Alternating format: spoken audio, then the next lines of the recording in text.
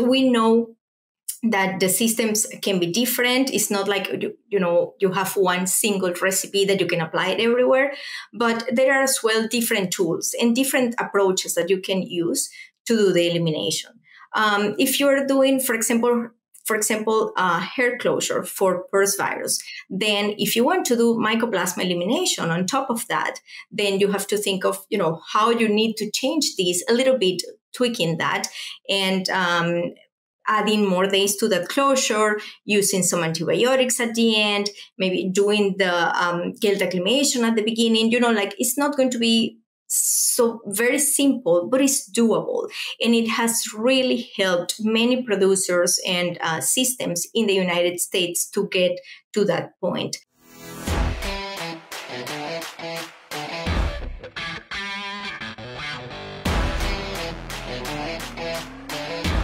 Welcome to the Swine Health Black Belt Podcast, the latest swine health research digested for you. My name is Dr. Clayton Johnson. I'm the host of the podcast. And joining me on this week's episode is Dr. Maria Pieters. Dr. Pieters is an associate professor at the University of Minnesota College of Veterinary Medicine in the Department of Veterinary Population Medicine. Maria, thank you so much for coming on to the podcast. If you would, why don't you start with an introduction for the audience? Well, first of all, thank you for having me. I'm excited to be here and share, um, you know, our, our, investigations with your audience.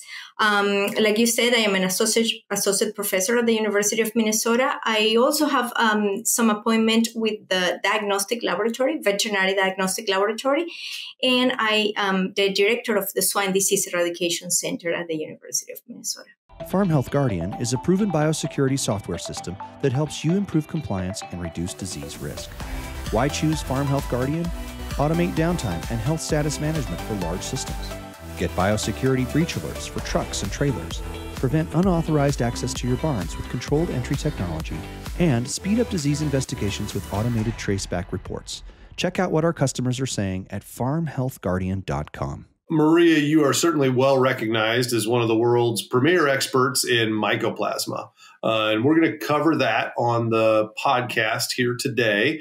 Um, we're going to start by talking a little bit about mycoplasma nomenclature. and I know that may not be the audience's most exciting part of this, but hang in there. Like I promised, that's not the whole part of this. But I hear some scuttle, Maria, that there is at least discussions of potentially making a, an adjustment to the name of mycoplasma. You want to give us a brief update on what that is?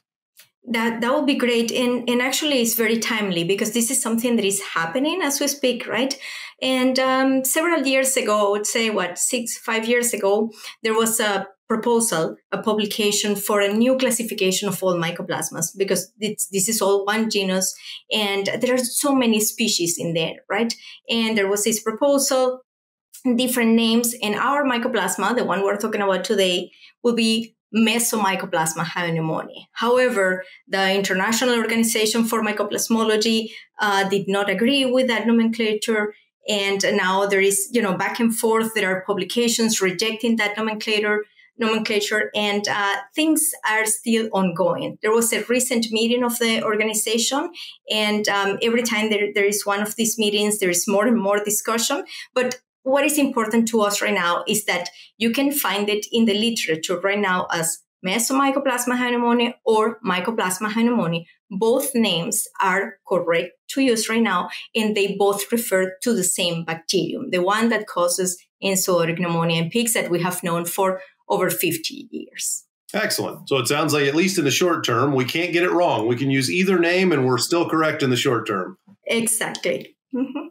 Very good. Well, let's get on the applied side, Maria. Um, eradication of mycoplasma has been a very growing trend in the United States industry, and I think producers all over the world are going to find uh, they're going to they're going to jump on that trend when they find out how nice it is to have pigs that don't cough in finishing.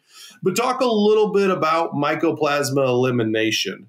Um, and in particular, um, you know, is it uh, is it something that producers can do concurrently with PRRS elimination and maybe kind of uh, kill two birds with one stone, so to say? Yep, that's that's really good to talk about because in reality, in the United States, the way that we, you know, that the production systems work and the way that we do eliminations is a little bit different as it could be in other countries. Mycoplasma elimination has been going on in other countries for you know several years since the 80s right?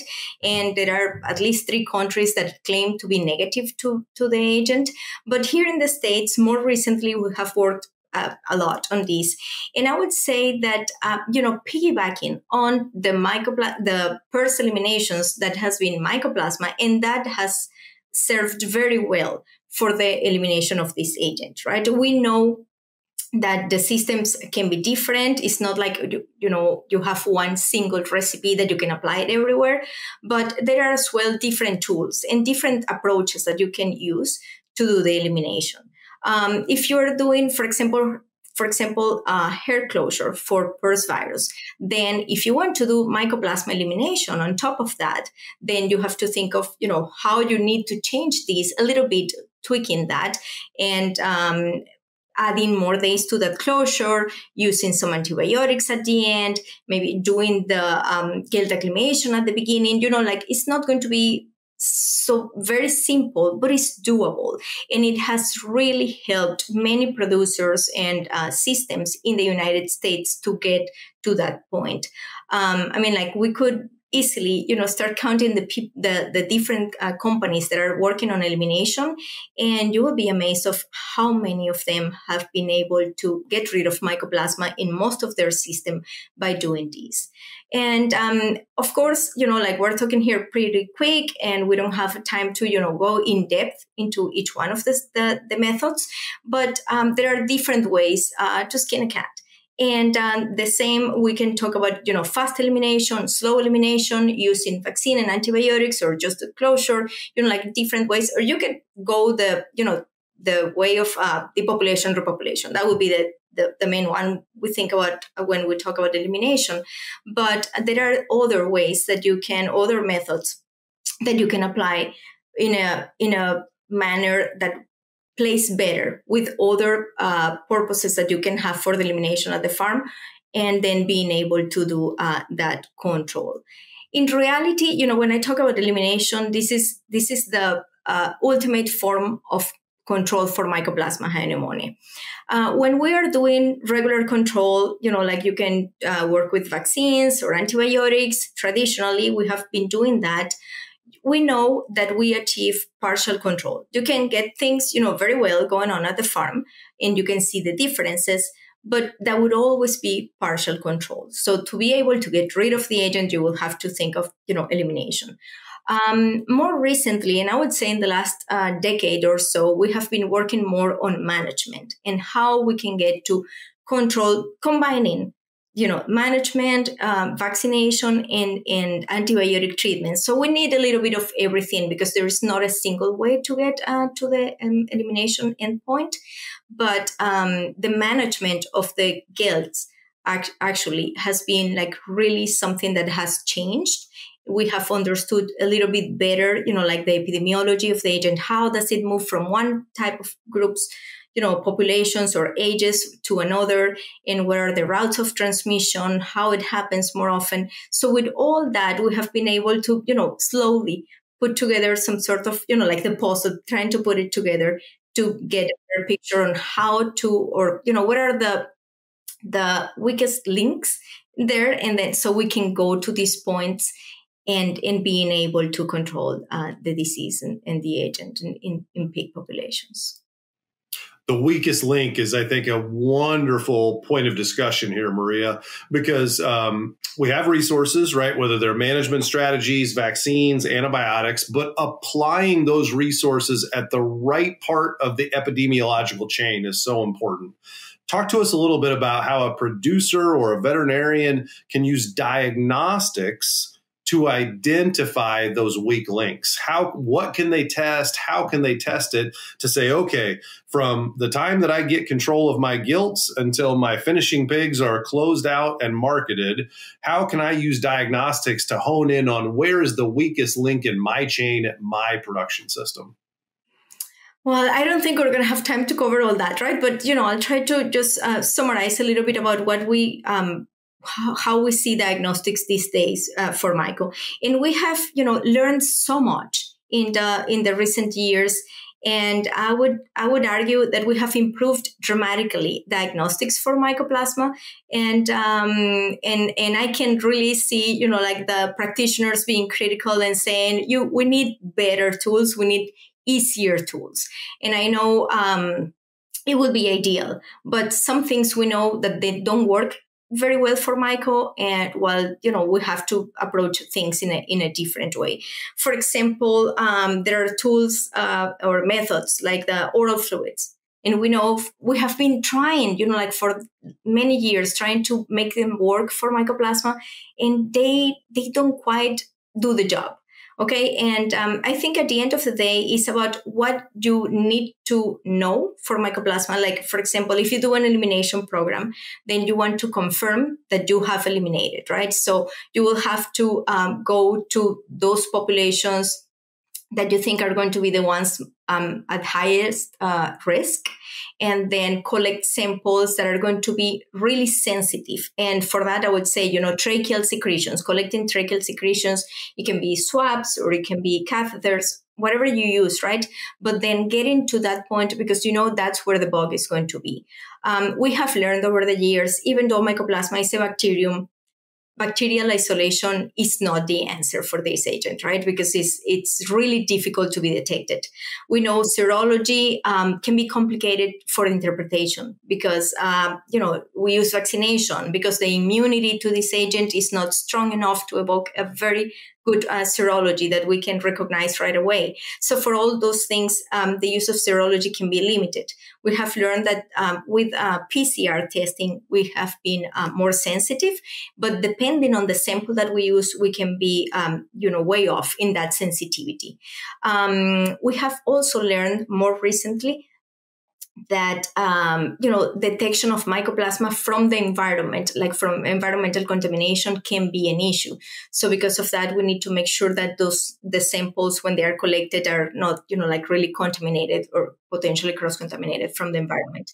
In more recently, we have developed a viability PCR, which is a different type of PCR, it's an mRNA based PCR, to be able to say what we are detecting here is potentially alive and infectious. And I would say, you know, that in a nutshell, that's what we uh, where we are at with the diagnostics for myco these days. But um, I know this is very brief, and uh, there will be other questions. So I, I invite the audience to, you know, read or to reach out to um, your pathologist, uh, your diagnosticians, to your diagnostic laboratory, so you can get more information about the best use of the tools that are available and, in how to apply those. Salmonella presents significant challenges to pig health and performance and poses food safety risks to humans. As the first and only vaccine offering live attenuated strains of both Salmonella cholerae and Typhimurium, Enterisol Salmonella TC from Boehringer Ingelheim protects pigs against both serotypes with a single oral dose. Talk to your Boehringer Ingelheim representative to learn more. You mentioned a, a, newer tool there, Maria, the Viability PCR. Is that commercially available at the Minnesota Diagnostic Lab today? Actually, not yet, but um, at this point, it's still in the research um, uh, laboratory. Uh, we have published that and we are learning how to use it, right? But, you know, understanding when you're doing gilt acclimation, is the material that I'm using really, you know, uh, the, the one that I'm thinking it's, it's going to infect those animals, or when I'm detecting it in some animals after, uh, you know, an elimination program, is it just contamination or is it the live myco? So that's, those are the type of questions that we are applying it to right now.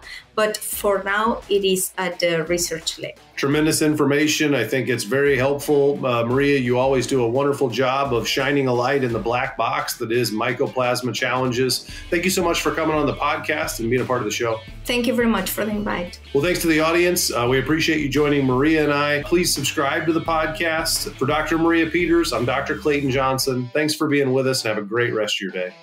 Hey, everybody. We're always searching for the latest and greatest research to share each week. If you have a swine health related research trial and would like to come on the show and talk about it, share it with us, please feel free to email the research to hello at wisenetix.com.